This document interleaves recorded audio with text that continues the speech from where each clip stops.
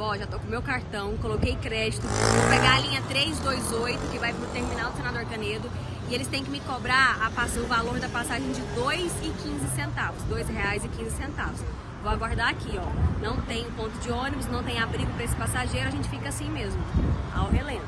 A linha 328 demorou uma hora e 10 minutos para passar. Olha ele aí chegando finalmente. Depois de 72 minutos, consegui embarcar. Nossa,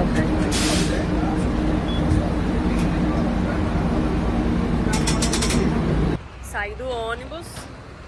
Agora a gente vai testar para saber se esse trajeto eu paguei R$ 2,15. A gente vai ver ali no toque. Vamos ver se cobrou os R$ 2,15. Eu tinha R$ 23,60. Tá certo, ó. 23,60 menos 2,15, 21,45. De fato, foi cobrado os R$ 2,15 lá do ponto que eu peguei até aqui o terminal. Agora a gente vai pegar o eixo Anhanguera para fazer a integração até Goiânia para saber se eu vou pagar a complementação de 2,15 ou eles vão me cobrar uma tarifa cheia. A fila tá grande, vamos lá. A gente faz a, a validação do cartão lá com o motorista, lá na frente, na parte da frente do ônibus.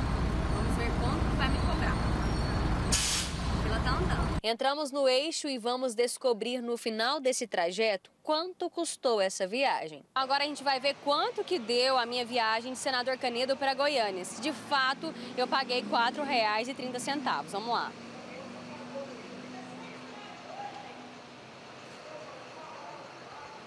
19,30, tá certo. Foi cobrado então apenas mais 2,15 do eixo Ayanguera até Goiânia. De fato, então, do setor de Todos os Santos em Senador Canedo até Goiânia, pegando a linha alimentadora e o eixo, eu paguei R$ 4,30 na passagem. No meu caso, não foi cobrado nenhum valor indevido ou a mais do que eu pagaria antes mesmo das mudanças. Isso porque eu estava com cartão fácil ou bilhete único, é a mesma coisa.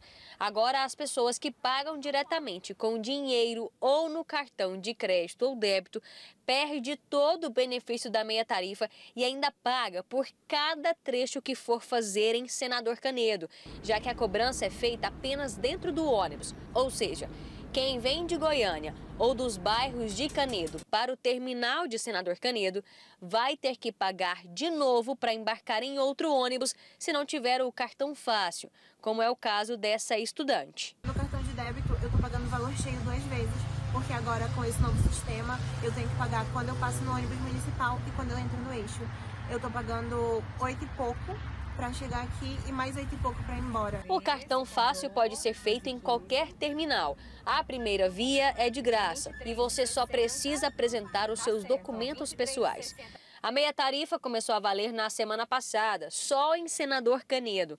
É um projeto piloto. O passageiro paga R$ 2,15 para viajar em sete linhas dentro de Senador Canedo. Caso você esteja com problemas com a cobrança na tarifa, vá até um guichê nos terminais.